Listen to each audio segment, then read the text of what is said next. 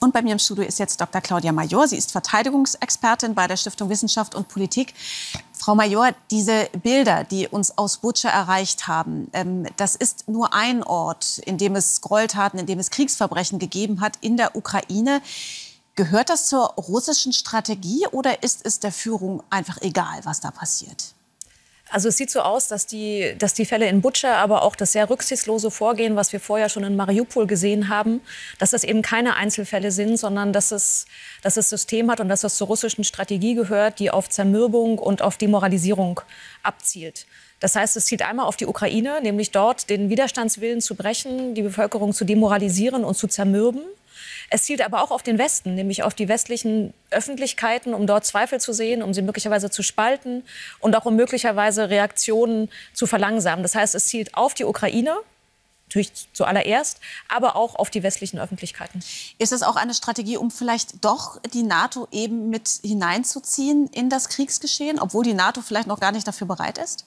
Ja, Russland möchte ja nicht, dass die NATO interveniert. Ähm, äh, das wäre ja eher etwas, was sich die Ukraine wünschen würde. Also das ist wirklich, das sollte man wirklich ganz klar verstehen als das rücksichtslose und brutale Vorgehen von Russland, was sich leider einreiht in eine Art Serie, wenn man guckt, wie die Bombardierung von Mariupol war. Es gibt Berichte über die Tötung von Zivilisten, Angriffe auf äh, zivile Infrastruktur, Plünderungen, Vergewaltigungen. Das heißt, das ist nicht das erste Mal, dass Russland so rücksichtslos vorgeht in diesem Krieg. Und wir müssen leider davon ausgehen, dass Butscha wahrscheinlich nur die Spitze des Eisberges ist. Und wenn jetzt noch mehr Gebiete von Russland zurückerobert werden, also die Ukraine noch mehr Gebiete wieder einnimmt, dass man noch mehr von diesen extrem schrecklichen Bildern sehen wird. Aber inwiefern äh, spaltet das denn Ihrer Ansicht nach die, die westlichen Länder? Das eint doch eher mehr, wenn man diese Verbrechen sieht, dass man sieht, wie furchtbar da vorgegangen wird, dass man jetzt sagt, da müssen wir geeint gegen vorgehen. Ja, das stimmt. Aber andererseits konnte man am Wochenende in Berlin auch eine, Unterst eine Demonstration Unterstützung für Russland sehen. Das heißt, es gibt schon Stimmen auch in den westlichen Öffentlichkeiten, die das russische Vorgehen hinterfragen und sagen, stimmt das dann so äh, und ist das alles richtig? Das heißt, es kommt, es kommt schon ein gewisser Zweifel und Kritik auch in den westlichen Öffentlichkeiten an.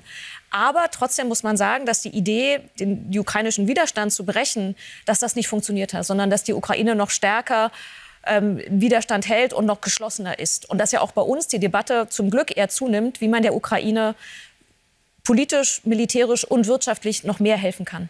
Wirtschaftlich wird ja immer wieder ein Energieembargo gefordert. Glauben Sie, dass das unmittelbare Auswirkungen hatte oder wird es auch da dauern, bis sich die Wirkung in Russland ähm, durchsetzt? Es hätte einmal eine sehr starke symbolische Bedeutung, dass jetzt die westlichen Staaten wirklich sagen, wir nehmen das Embargo in Kauf, was auch uns kosten wird. Also symbolisch sehr stark. Es hätte auch direkte Folgen beispielsweise auf die Industrieproduktion in Russland. Es hätte langfristige Folgen, es würde aber auch direkt schon was bewirken. Wichtig ist auch noch mal die militärische Unterstützung sich anzugucken. Also zu sagen, was können wir denn jetzt noch mehr machen, um die Ukraine zu unterstützen, dass sie entweder Widerstand leisten kann oder sogar Gebiete zurückerobern kann von Russland. Und wird das an, äh, genügend gemacht Ihrer Ansicht nach? Die Debatte kommt jetzt wieder auf. Das heißt, man muss sich wirklich überlegen, was braucht die Ukraine. Und das reicht von relativ einfachen Sachen wie Treibstoff, weil Russland jetzt die ganzen Treibstofflager bombardiert hat. Also Treibstoff bis hin zu gepanzerten Fahrzeugen, Artillerie, Munition. Und da ist die Frage, ob die NATO-Staaten jetzt bereit sind, ein bisschen mehr zu geben, also noch mehr in Richtung schweres Gerät, beispielsweise auch Schützenpanzer zu gehen, um die Ukraine noch mehr zu stärken. Und ich glaube, da ist jetzt ein bisschen Bewegung in die Debatte gekommen. Wie sehen Sie denn da die Rolle äh, Deutschlands? Da hatte ja der Bundeskanzler eine Zeitenwende angekündigt und dann hatte man irgendwie den Eindruck, das hat sich aber noch nicht so ganz fortgesetzt. Den Worten sind keine Taten gefolgt. Immer wieder ging es darum, dass Kriegsgerät äh, nicht geliefert wurde oder zögerlich zögerlich geliefert wurde oder nicht das, was die Ukraine verlangt hatte. Die Zeitenwende bezog sich, glaube ich, auch erstmal auf die deutsche Sicherheits- und Verteidigungspolitik. Also anzuerkennen, dass sich in der europäischen Sicherheit was fundamental verändert hat, dass wir nicht mehr mit Russland Sicherheit machen können, sondern gegen Russland. Und dass das auch heißt, dass wir unsere Verteidigungspolitik neu aufstellen müssen, mit mehr Ausgaben für die Verteidigung, die Bundeswehr wieder aufzubauen. Ähm, mit Blick auf die Ukraine gibt es in der Tat eine gewisse Enttäuschung bei der Ukraine, aber auch bei vielen Bündnispartnern, dass Deutschland so zurückhaltend mit Blick auf das Energieembargo ist, aber auch so zurückhaltend mit Blick auf die Waffenlieferung ist. Und da ist in der Tat äh, einige Kritik zu hören.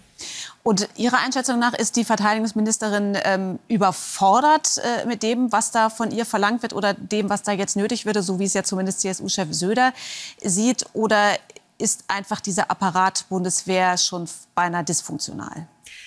Ich glaube, es ist eine politische Entscheidung. Wollen wir wirklich die Ukraine militärisch noch stärker unterstützen?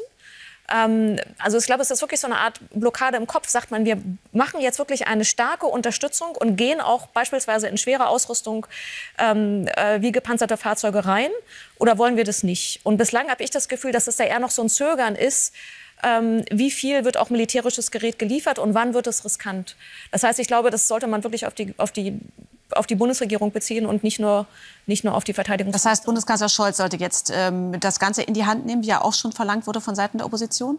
Ich glaube, es braucht eine klare, eine klare Entscheidung, dass man im wirtschaftlichen Bereich, meinetwegen Energieembargo und im militärischen Bereich klarere Entscheidungen trifft. Ja. Sagt Dr. Claudia Major. Vielen Dank für das Gespräch. Gerne.